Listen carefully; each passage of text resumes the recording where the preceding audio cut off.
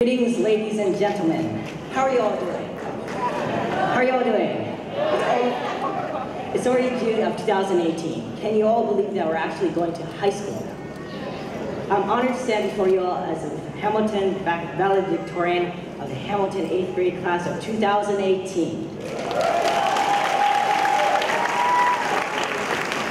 As I look across all of your faces, I remember our past and can imagine all of your promising futures. Our class theme of this year is, and now our adventure begins. When I think about this quote, it makes me picture a chapter book. Each day is like a page in the story we are creating. There are different sections in our lives, like there are uh, chapters in books. We are closing the chapter titled Middle School, the time when our family members couldn't recognize that was us on the phone because our voices were changing. To fully understand this moment, we have to look back to the past and cherish our moments at Hamilton. The sixth grade year was hardest time because many of us were new to Hamilton and needed friends. But in the end, we learned to focus more on our work.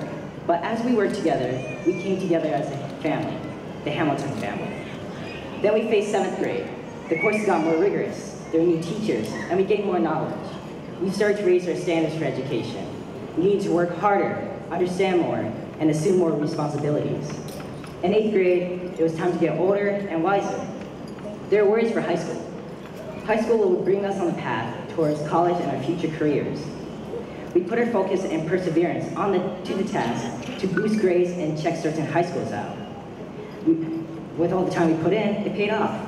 We got into great high schools, got even more experience at work, and most of all, we got to, be, to understand and be proud of ourselves. When we faced challenges in the last three years, we were not alone. Our teachers and Hamilton staff members were there to encourage and teach us. And our families cheered and sacrificed for us to help us succeed. I want to personally thank my mom and dad for putting their lives on the line to guide me. I also want to thank my family and honorary family for supporting and watching me thrive. Now my fellow eighth graders, please join me in thanking first our families and then our teachers and Hamilton staff members for helping us through our middle school years. Parents, family members, and guardians, please rise so we may thank you.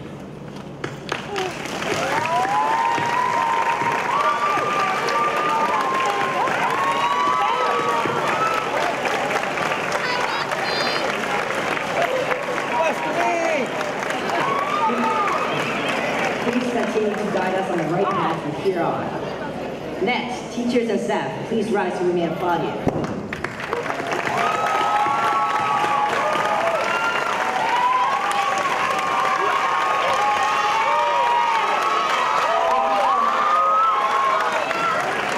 Thank you so much for bringing us this far. You may now be seated. I would like to individually recognize the teachers and Hamilton staff that have helped me and my fellow classmates. Ms. Schmidt. Ms. Schmidt always had a smile and kept us on task. She brought positivity and enjoyment in math. She incorporated hands-on activities and made us see the wonders of numbers. Mrs. Edgerton. Mrs. Edgerton was a new math teacher who started to work with Ms. Schmidt. She was very cheerful and she connected our learning experiences to interesting stories. She helped me understand that math is something not to fear, and with enough understanding, you can solve in seconds. Miss Kearns. Yeah. Miss Kearns was our eighth grade science teacher who listened and answered all of our numerous questions, especially by me, you know, you know. Uh, now I know that if you put effort into helping others, they'll achieve more. Mrs. Adams. Yeah.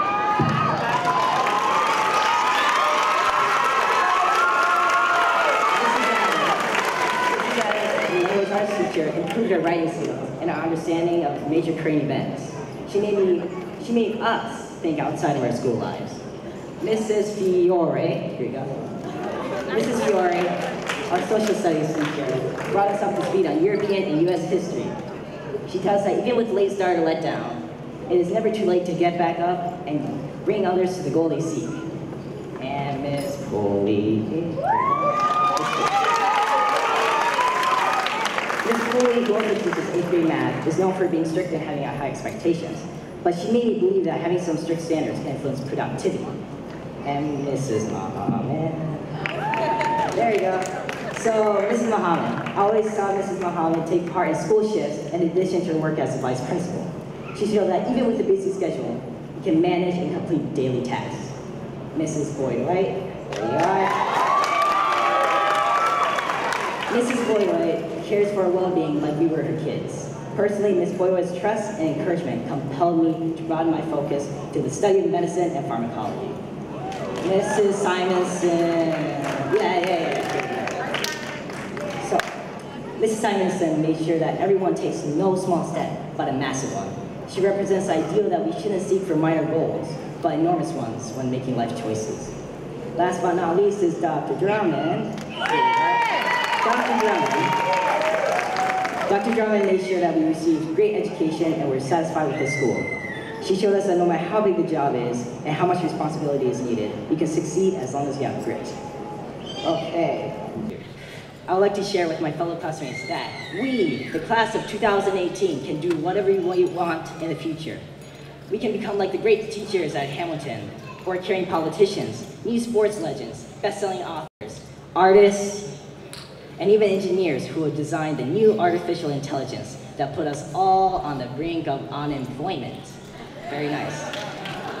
People recognize our accomplishments and how we change the world for the better. But before we look into how we can influence the future, we need to strive to better ourselves. Like we see each morning, like what we said each morning at Hamilton, we need to be honest, attentive, well-mannered, kind, and studious.